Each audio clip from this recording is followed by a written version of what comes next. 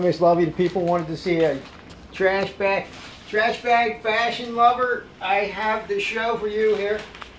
Violet Violets. We have the show. I told you I'd be right back. So this is the uh, fishing trash bag lover wear. So what we have here is we have this big heavy duty trash bag and I cut the sleeves out like this.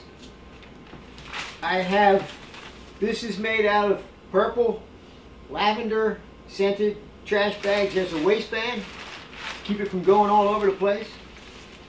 All right. We have the fishing hat. Is this on? I don't want to do this again. Is it on? We have the fishing hat covered with a Dollar Tree trash bag. Okay. And uh, then when you start to get a little bit too warm and you're running back to the car in the rain like I do when the bears chase me, you, you simply, you unhook this and then you got more bags to put your fish in unless your lovey is vegan. And, and then you, as you can see the hat, the hat is Dollar Tree over top of the fishing hat so your hat won't get completely soaked, see? Alright. Here, hold this, hold this. Hold that. Put this over here. Here, hold that, hold that. You wear the hat.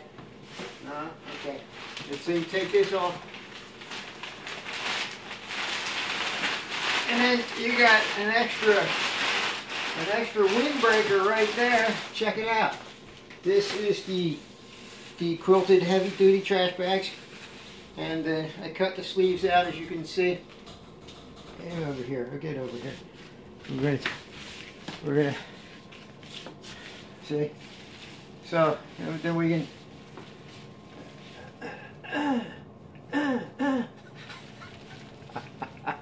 so here we go. That is the, the fashion trash bag. Yes, I'm in my after work pajama pants. You'll have to excuse me. Anyway, that's that is for Fashion Trash Bag Lover. We just chatted on Violet Violet's live chat show. Now I gotta go. Alright, somebody else's turn. How many subscribers did I lose?